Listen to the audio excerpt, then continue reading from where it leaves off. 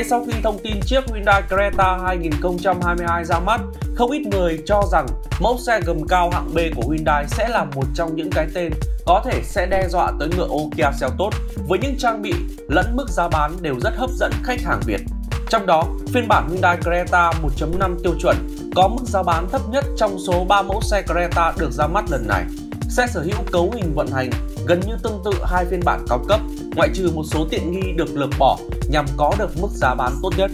Quý vị lưu ý, giá lăn bánh của Hyundai Creta 2022 sau đây chưa trừ khuyến mại nhưng đã bao gồm đầy đủ các chi phí như lệ phí trước bạ từ 10 đến 12% đối với xe nhập khẩu, phí biển số, phí đăng kiểm, phí đường bộ, bảo hiểm bắt buộc. Cụ thể, Hyundai Creta tiêu chuẩn có mức giá bán niêm yết là 620 triệu đồng. Giá lăn bánh tạm tính tại Hà Nội khoảng 716 triệu đồng, tại thành phố Hồ Chí Minh khoảng 704 triệu đồng, tại các tỉnh thành khác khoảng 685 triệu đồng. Để mua được phiên bản này trả góp, quý vị phải có trong tay tối thiểu từ 220 tới 225 triệu đồng, đã bao gồm tiền đối ứng ngân hàng và chi phí đăng ký xe. Xe có tổng cộng 6 màu sắc tùy chọn, đó là trắng, đỏ, đen, bạc, xám kim loại và xanh dương. Phiên bản tiêu chuẩn chỉ có một màu nội thất đen. Hyundai Creta sở hữu một thân hình nhỏ gọn, nhanh nhẹn, được chuyên gia đánh giá là mang sức ảnh hưởng từ chiếc xe đàn anh Hyundai Tucson. Xe sở hữu kích thước tổng thể dài rộng cao lần lượt là 4.315 mm x 1.790 mm x 1.660 mm, chiều dài trục cơ sở đạt 2.610 mm, khoảng sáng gầm đạt 200mm.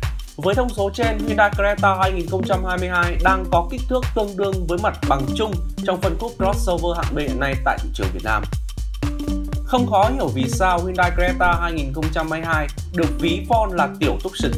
Phần đầu xe giống y hệt người đàn anh với chi tiết phần lưới tản nhiệt táo bạo, những họa tiết hình khối bên trong sử dụng tông màu đen thể thao, kết hợp với những chi tiết đèn định vị ban ngày dạng LED không khác gì Tucson. Trong khi đó, hệ thống đèn pha cốt của Hyundai Creta được hạ thấp, tạo thành điểm nhấn và có phong cách riêng cho xe. Cùng đèn trước của bản tiêu chuẩn sử dụng dạng bi halogen. Dải nhựa bạc ở phần đầu tạo thành hình chữ X ôm lấy cụm đèn pha và nối liền với cản trước, tạo nên cảm giác rất mạch lạc cho mẫu xe này. Vì xe bị ảnh hưởng bởi phong cách coupe, chính vì vậy mà phần nóc trần xe được vuốt ngược về phía sau. Trụ A và B của Creta được sơn đen, trụ C sử dụng miếng ốp chrome. Tiểu tiết này giúp Creta trở nên khác biệt và có điểm nhấn riêng. Cả ba phiên bản Hyundai Creta 2022 được trang bị bộ la răng 17 inch hợp kim dạng phay bóng khá bắt mắt. Gương chiếu hậu có màu sắc cùng với thân xe, tích hợp tính năng chỉnh ngập điện, đèn xi nhan báo rẽ sử dụng dạng LED.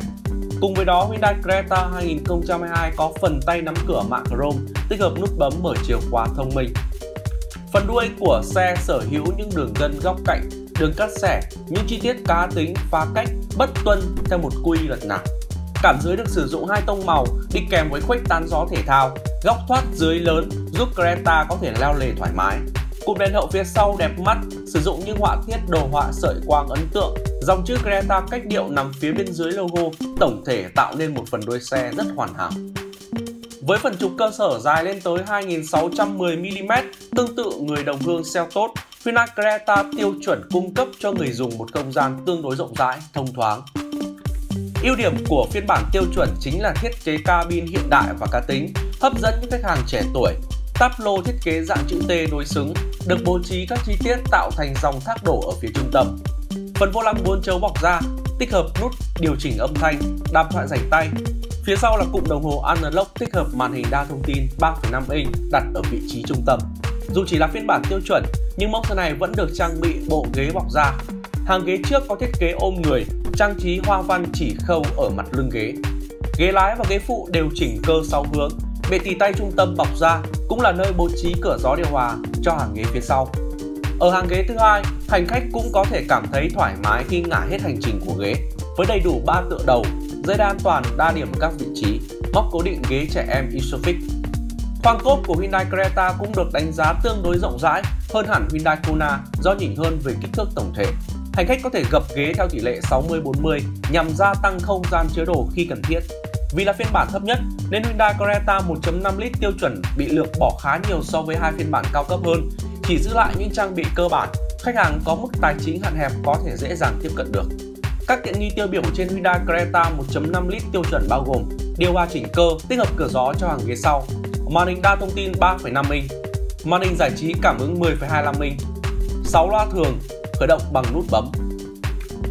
Về phần an toàn, Creta 1.5 lít tiêu chuẩn chỉ có hai túi khí và không có gói công nghệ Hyundai Smart Sense. Hệ thống an toàn của xe vẫn đáp ứng tốt với những tính năng tiêu chuẩn, không kém phần hiện đại như camera lùi, hệ thống cảm biến phía sau, phân bổ lực phanh điện tử, hỗ trợ lực phanh khẩn cấp, cân bằng điện tử, hỗ trợ khởi hành ngang dốc, hệ thống kiểm soát lực kéo, cảm biến áp suất lốp, phanh tay điện tử có tính năng auto hold.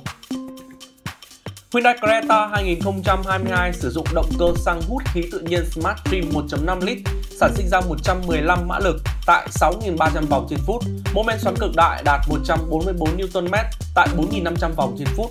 Sức mạnh được truyền đến bánh xe thông qua hệ dẫn động cầu trước và hộp số IVT, hộp số vô cấp biến thiên thông minh do Hyundai phát triển. Vừa rồi là những chia sẻ chi tiết về chiếc xe Hyundai Creta 1.5 lít tiêu chuẩn 2022. Cảm ơn quý vị và các bạn đã tham gia theo dõi. Xin kính chào và hẹn gặp lại.